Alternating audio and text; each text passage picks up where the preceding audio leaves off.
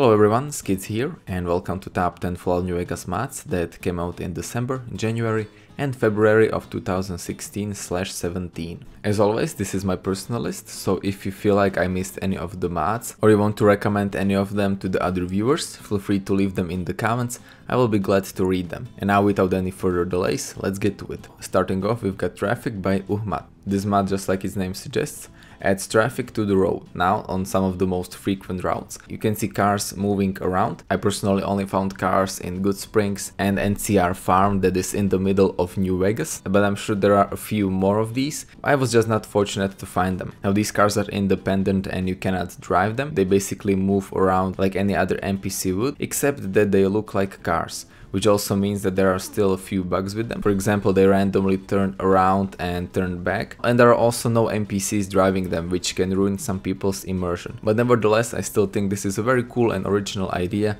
that adds a bit of life to New Vegas, and it is also something you would expect from a place that has working casinos and electricity everywhere. Another very cool mod that also uses this mod is NCR Truck Convoys, that adds 3 new convoys with NCR troopers that drive around the Mojave and I would also recommend that mod as well. When it comes to variety of cars there are a few different types. There is the huge truck that I saw near the NCR farm or the classic 4-wheel that can be found in Goodsprings. Overall a very cool and interesting idea for New Vegas that I would definitely recommend.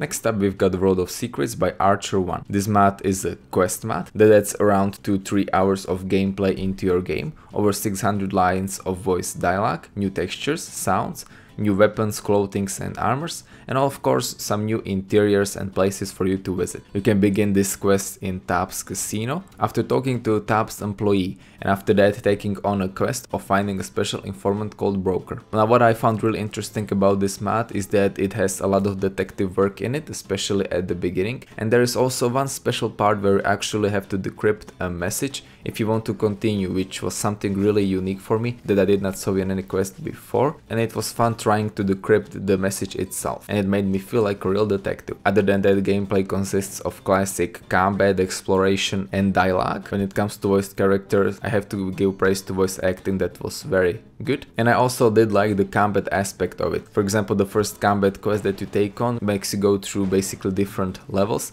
until you meet the final boss, which was also a pretty cool idea. Like I mentioned, this quest mod will take you around 2 or 3 hours to complete, and I have to say it is one of the more unique experiences when it comes to quest mods in New Vegas, and therefore if you liked any of the stuff I talked about, you should definitely go ahead and check it out. Coming up next we've got Take Your Time by Clockwork Manatee. Now this mod is especially for those of you guys that are immersion freaks. As some of you may have noticed, whenever you perform any action in game like hacking, repairing or lockpicking, it doesn't advance time in game, which for some people may be a bit immersion breaking since logically it takes you some time to actually perform all those activities and therefore the time should advance. Now with this mod all of this is possible, since it allows you to set how much time it will take you to perform certain activities. These activities include bartering, hacking, lockpicking, reading books, repairing, including vendor repairing, weapon modding and also crafting at any sort of workbenches. In mod configuration menu you can set up how much time it will take, ranging from 5 minutes to a few hours. And whenever you perform an action, you get a small notification on top of your screen that says how much time you actually spent doing that certain activity. And some of the activities also come with third person animations if you activate them. Personally those third person animations only worked at Workbench for me, so I'm not sure if there aren't any more of those or if they just didn't work for me. But they were a nice little addition to this map. One thing I personally don't really like is that I was freezed for a little bit after performing every single action, which can be a little bit annoying if you have to lockpick a few things at the same time or hack into few terminals. But other than that, this is a pretty cool mod and all of you guys that like immersion in their game, you should definitely go ahead and check it out. Now let's take a look at Benelli M3 Super 90 by Gaige Storm. This mod adds a new weapon into the game. It will be automatically added into your inventory when you launch your game with this mod, along with all the modifications that come with it. It of course comes with custom textures and model. Both of those were very good and I especially loved the model since I am a huge fan of shotguns and this one is especially beautiful. Other than high quality model it also comes with good looking textures that have a tons of details on them like all the small scratches and dirt on it that makes it fit in the Mojave Wasteland. And I also really did enjoy the modded version that makes the weapon a little bit shorter, adds a cool looking scope to it and there are even shotgun shells on side of the weapon which was also a very nice feature. Other than that it also comes with its own sound effects that were a little bit too loud for my taste, but otherwise I personally didn't saw any problem with this weapon. In combat it was also pretty effective, I used it in almost all the combat encounters you can see in this video, and personally I don't think it was very overpowered, and it worked just like shotgun is supposed to, which means it was very effective in close range but not so much at long range. Overall a very good looking weapon and if you are a lover of shotguns and good looking weapons, then this weapon is definitely for you.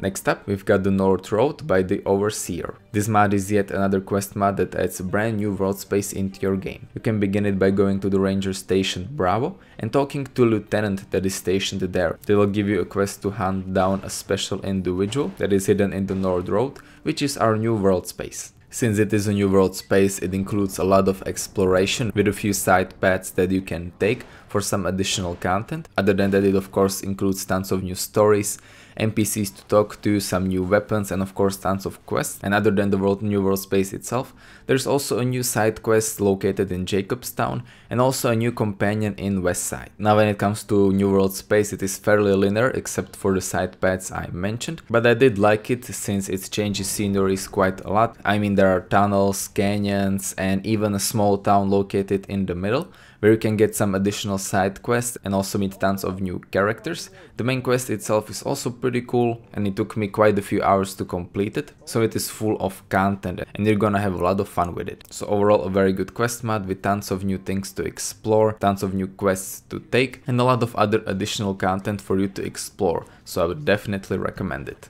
Moving on, we've got The Living Desert, Underpass Restored and More by ELPascal. This mod is still a work in progress and it is relatively small right now, but I still decided to feature it because I found it interesting. Its main purpose is to basically repopulate New Vegas, especially at places that are totally empty. mod author wants to accomplish that by restoring few minor cut NPCs or areas that the modders haven't touched yet, fix and enhance vanilla NPCs to make them act more alive, and add new travelers, and patrols travel the major roads. Another interesting feature that mod author also has planned is the fact that uh, NPCs will actually react to your choices. So if you kill the ants that are located near Mojave Outpost, NPCs are going to appear on the road there, or travelers will also appear on Long 15 again after you take out most of its threats.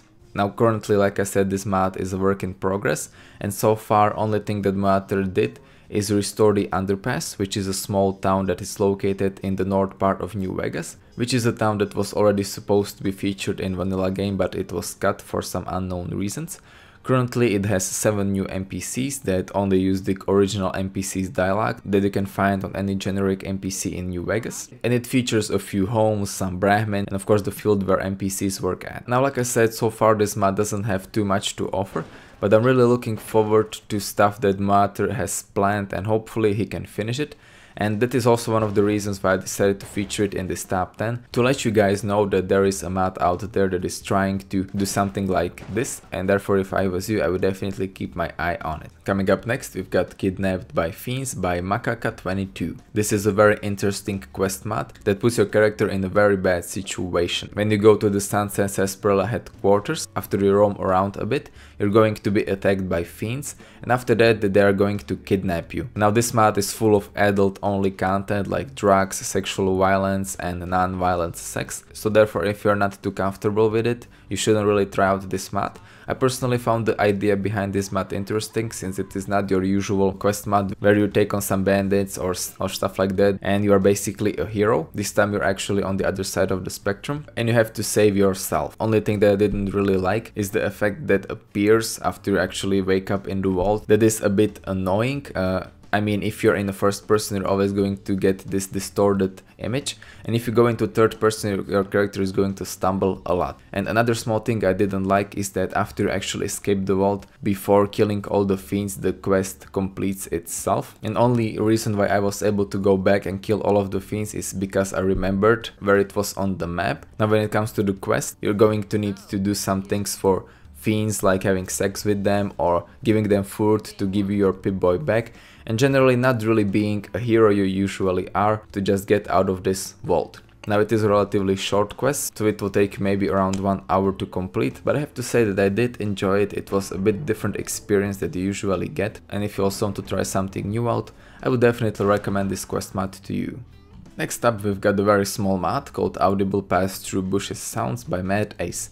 This mod does exactly what its name says and now whenever you pass through bushes there is a sound effect which didn't happen in vanilla game. Now there is a difference between walking, sneaking and running through the bush and each time you have a different effect playing. Now unfortunately this doesn't have any sort of gameplay use so therefore even if you're sneaking on enemies and you go through bush they still act the same but I still think it is a pretty cool small mod that adds a bit of immersion and realism into the game. So now let me play you a quick sample of it.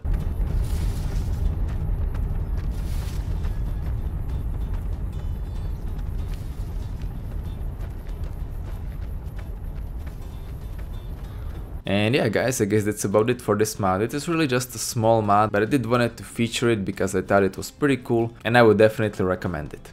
Next up we've got Natural Eyes, Megaton Hair and Mannequin Race by zzjay. All of those three mods are cool and I wanted to feature them and since they were by, by the same author, I decided to just put them in one spot.